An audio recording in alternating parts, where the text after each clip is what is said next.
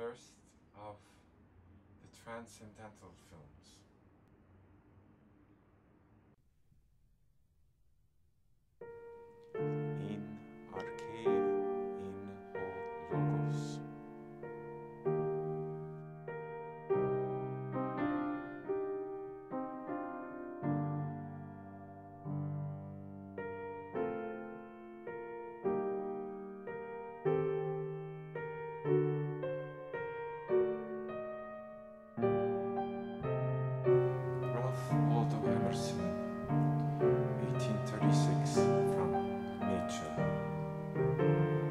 Our age is retrospective.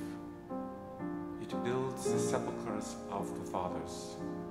It writes biographies, histories, and criticism. The foregoing generations beheld God and nature face to face. We through their eyes. Why should we not also enjoy an original relation to the universe? Why should not we have a poetry and philosophy of insight and not of tradition, and a religion by revelation to us and not the history of theirs? And wasn't for a season in nature whose floods of life stream around us and through us, and invite us by the powers they supply to action proportioned to nature.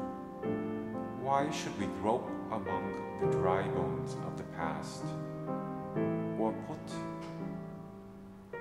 the living generation into masquerade out of its faded wardrobe? The sun shines today also. There is more wool and flax in the fields.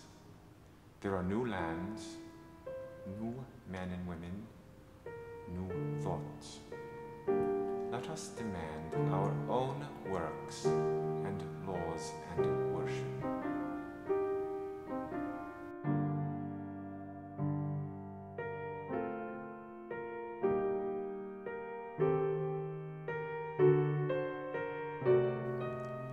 If I face a human being as my thou, say the primary word I thou to him, he is not a thing among things, and does not consist of things.